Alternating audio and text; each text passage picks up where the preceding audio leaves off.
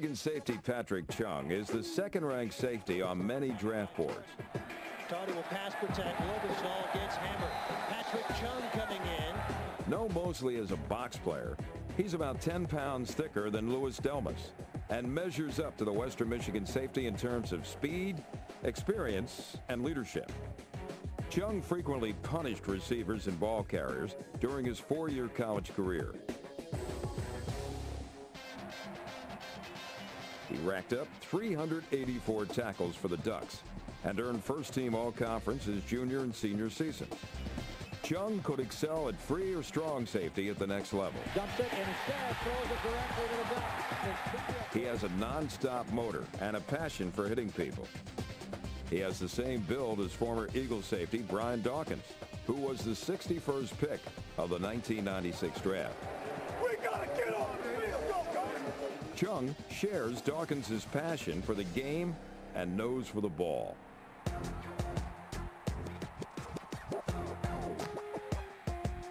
At the scouting combine, Chung ran in the low four fives and put up a solid 25 reps on the bench press.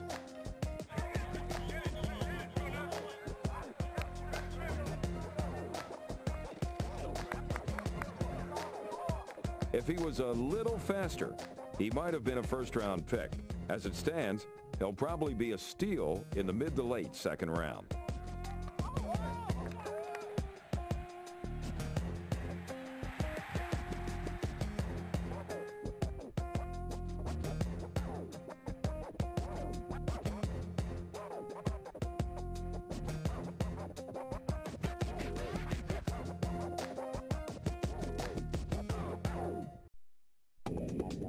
Cornerback Jairus Byrd was a ball hawk at the University of Oregon. Off play action. Locker looking for Russo. Signaled up with the defensive back. And that one is intercepted by Byrd. Bird is a fluid athlete with great hips and hands to go with very good instincts and ball skills.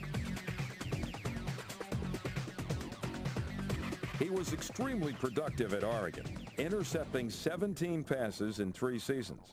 He also chipped in almost 200 tackles and three forced fumbles.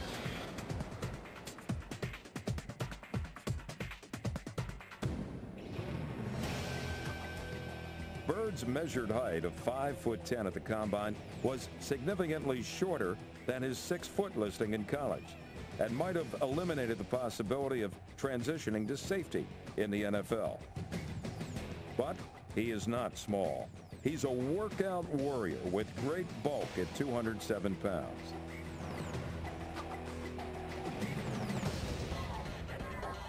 Though Byrd doesn't have exceptional speed, he was quick enough to return kicks at Oregon.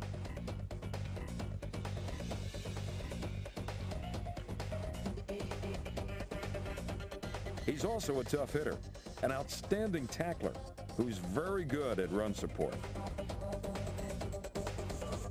He was a model of durability. He never missed a game to injury in college and ended his career on a 37-game starting streak. Byrd is likely a middle-round pick, but his durability and outstanding production in college could make some NFL GMs take another look earlier in the draft.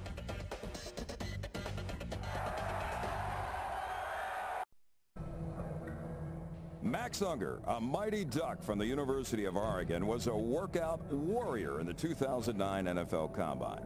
He was confident and executed the drills to near perfection. In the pro agility and three cone, he was the third fastest offensive lineman. At the Senior Bowl, he also opened eyes in one-on-ones, and he took the success he had in those drills and was able to carry them over into team concepts. Unger has very good footwork, so he is always in the right position, but at times, his upper body strength can be taken advantage of. In order to compensate for his lack of strength up top, he must increase his leverage by drop stepping.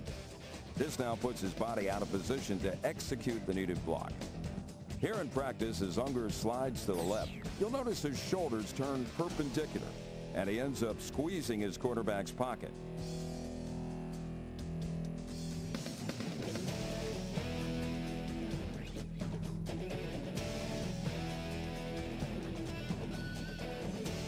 Unger stands 6 foot 4 and weighs 309 pounds. He was a two-time first-team All-Pac-10, and in 2008, he won the Rotary Lombardi Award, which is given annually to the best offensive lineman in the country who portrays the qualities of legendary coach Vince Lombardi. He played at a high level at center and left tackle while starting 51 consecutive games at Oregon.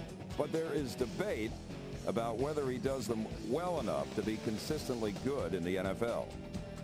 He has a tireless work ethic and is athletic enough to be successful at leading downfield in the screen game. Unger also has the rare ability to snap the ball from the center position and pull around to the second level and block his assignment. The knock on Unger is his lack of strength, but his speed and athleticism compensate for any other deficiencies